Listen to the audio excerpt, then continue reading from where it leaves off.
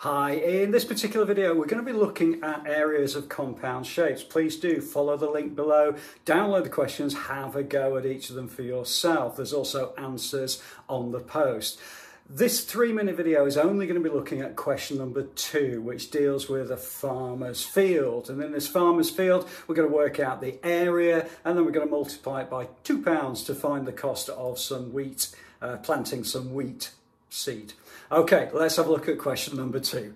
So question number two, we've got this shape, which is um, a rectangle and a triangle. So what I'm going to do is I'm going to split them up into A and B.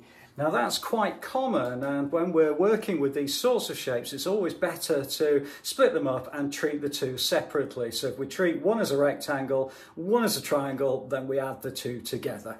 Okay, so with the first one it's going to be shape A. Now shape A, to work out the area, it's going to be 85 times 50. Uh, I'm very aware that you might do things slightly differently to me. I'm just going to use this kind of calculation you might want to use partitioning or something like that but hopefully you'll get the answer at 4250 for the value of the rectangle A. So let's have a look at the triangle and we're going to use the area of a triangle formula which is going to be base times height. This is B is base times height divided by 2. Well, I know that the base is going to be the difference between this point and this point.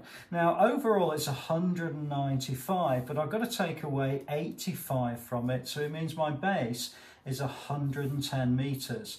Likewise with the height, I know overall it's 50, but this drop here is going to be 20, so therefore it's going to be 30 on the height. And very frequently with these sorts of questions, you have to just check those. Okay, so let's have a look then at putting this into the calculation. We've got 110 multiplied by 30 all divided by 2 and again you will have some different calculations perhaps to me but I would end up, and hopefully you'll end up with the same at 1650.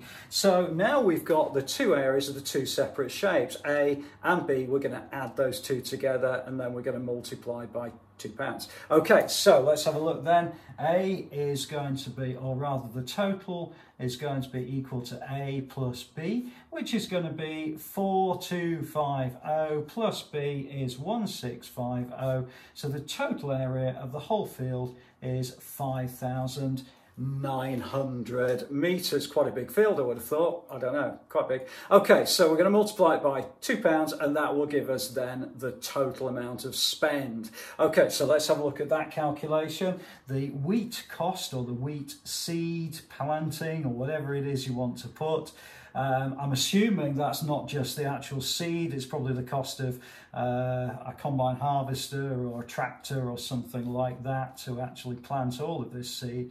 But it's going to give you a grand total of £11,800, uh, which seems to me an awful expense, but that appears to be the kind of price that I guess a lot of farmers are prepared to put into, into their fields, uh, I think. Okay, so if you've uh, found this video useful, please do uh, like the video, uh, subscribe to the channel. I look forward to seeing you inside the next video.